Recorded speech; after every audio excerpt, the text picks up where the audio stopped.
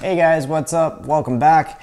Uh, today I wanted to do, I guess, a, another blade talk. I guess it's not really a review, uh, and it's not a box opening because I've already had this blade for quite a while before I even decided to start this. But as the title suggests, it is a Kiku Matsuda, specifically the mini backup. So this is roughly 3.7 inches long, the blade, and the overall length of this is 7.87 inches, and it's about half a pound. Uh, thickness, it's almost a quarter inch thick. Not sure you guys can see. It is pretty heavy compared to other knives that I own, but as soon as I saw one of Kiku Matsuda's blades, I knew that I had to have them. So if you don't know who Kiku Matsuda is, he is a Japanese master bladesmith, and that guy really is an artist with his with his work. Uh, he hand grinds all of his blades, and this specific one, this style is a Hamaguru Bai or something like that. Never claimed to know Japanese, so uh, basically it is a convex grind up here and then your traditional type of grind that we know here in the US. So this grind, the convex grind, is what sword makers use and have used for, I guess, hundreds of years to make uh, samurai swords. So that is pretty cool. Uh, the steel, don't know really too much except that, like I said, it's OU31 Japanese steel. Um, it's held up pretty well. I remember the first time about 11 years ago when I first found out about Kiku Matsuda and I was able to hold one of his blades, I'll usually run my finger uh, along the edge to see how sharp they are. And usually I can make it through the whole entire blade and then I'll just see how deep it's cut. And I remember the very first time that I held one, I, I started doing it and I just did that and I was like, oh yeah, that, that is super, super sharp. Kiku Matsuda knives are, I read in an article, considered to be amongst the sharpest in the world and they definitely are the sharpest that I have ever handled. I've never tried, you know, the, the cutting test with a uh, medical scalpel, so I can't really compare it to that, but maybe I should. And uh, yeah, anyway, so I've, I've been wanting this knife or this blade for almost 11 years now. And I guess it's because of COVID and him not being able to travel to different blade shows that he decided to start selling stuff online. Because before covid i would check his site maybe once a month and he never sold anything online. And now he's starting to sell everything that he makes. Even the, the short swords that he makes he's starting to sell them online and he does international shipping. So i got this from him. I went to town with it used it for a whole bunch of different things. I have dulled the front part, and the one thing that I would say that kind of sucks about these, and that I did kind of think about before I purchased it, is sharpening. And how do you sharpen this, right? Because it's more of a convex blade on the front. And I don't know about you guys, but I am not very patient when it comes to sh- to sharpening. I have tried Lansky, I've tried Wicked Edge, um, and a couple others. I've tried Japanese whetstones, and I seem to mess up every single blade that I've tried sharpening, except for my kitchen knives, which are behind the camera. Those with the Wicked Edge, I've been able to, to sharpen pretty good, but any of my tactical knives, yeah, it has not worked.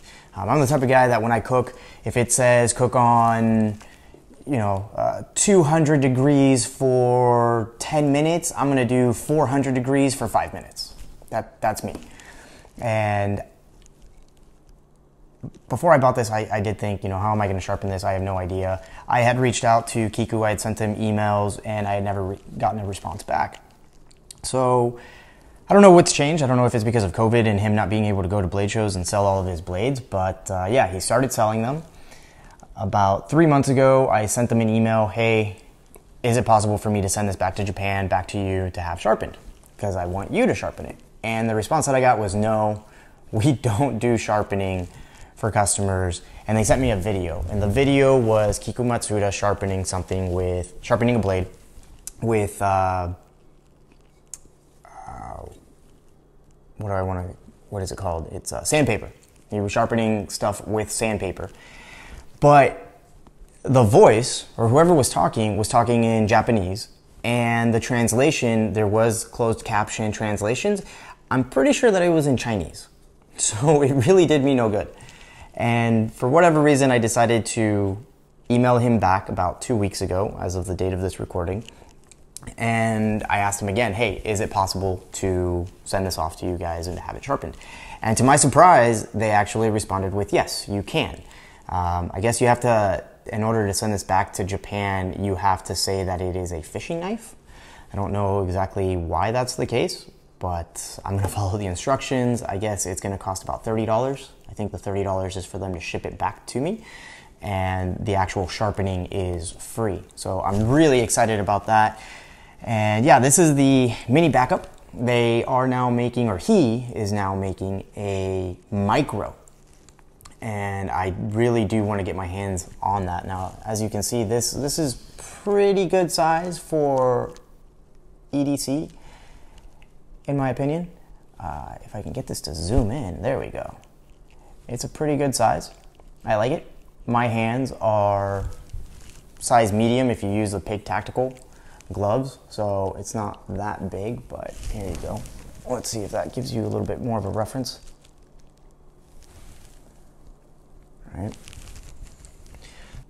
So I guess it would be cool to have both this mini backup and the micro so that either my future wife carries the micro and I carry this one and it's a kind of a his or hers or if she doesn't want to carry it, I can hold on to the micro until my child, whether it's a boy or a girl, uh, gets old enough to be able to start carrying a knife, and then it can become, you know, father son or father daughter type of, of knife. And then hopefully when I pass, I can pass this on to them. And Kiku Matsuda blades are blades that I really do think that you can pass on and can even become uh, heirlooms. Now, I don't know if that's because I'm associating these with Japanese swords samurai swords and how there's some that you can get that are three or four hundred years old.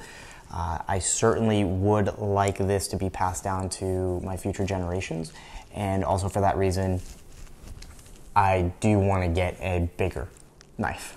So I'm probably gonna own, now that he started selling them online, I'm probably gonna own another two to three Kiku Matsudas. And when I get them, I will make another video. Now, the sheath, the sheath is, well, it's a really shitty sheath. For as amazing as his blades are, the sheath sucks. These two screws, they don't tighten the, uh, the, the lockup. So it's just, it's just a sheath. You can't tighten it, you can't loosen it up. The retention is there. There's nothing that you can do about it. So I am going to hopefully take this to Andy at Half Face Blades because I live in San Diego and see if he can make me one of his nice custom uh, suede lined sheaths. But uh, the ergonomics, the contours on this, it seems like he made it for my hand, whether it's forward grip or it's reverse grip, it feels absolutely perfect in the hand. It doesn't matter if the handle is wet, bloody, sweaty, it's not going anywhere. I absolutely love this. I just wish that um, I knew how to sharpen them myself and I didn't have to send them to Japan. The guy is about 80 years old, I think or he might be 70 years old. Yeah, no, I think he's 70 years old. And who knows when he's going to retire from blade making. I'm sure that whenever he does either retire or pass, that these blades are going to go through the roof. And for that reason, I also want to get one of the short swords. The swords are about uh, about two thousand dollars, and they are maybe 13 inches long for the actual blade. And then you've got the handle, which I believe is like a five or a six inch handle. So pretty cool stuff. If you guys don't know of Kiku Matsuda, highly recommend you checking them out. I don't know of many places that you can order them online legitimately, right? I kind of worry that they're knockoffs. If I can get this to focus for you guys. The only place that I know that actually does sell these and is legitimate is Rifle Gear. It's a gun store in Santa Ana, Orange County, Costa Mesa area, which isn't too far away from me. But uh, yeah, absolutely beautiful, super, super sharp. Definitely be careful when you get this new from him. All right, guys, so that is it for the blade talk on the Kiku Matsuda mini backup. I hope you guys enjoyed it. Uh, if you liked it, please consider giving it a thumbs up and subscribing. I do have a couple others. I may very well do a blade review on this tour, which you'll be surprised as to what I have to say about that. Anyway, thanks again. Take care.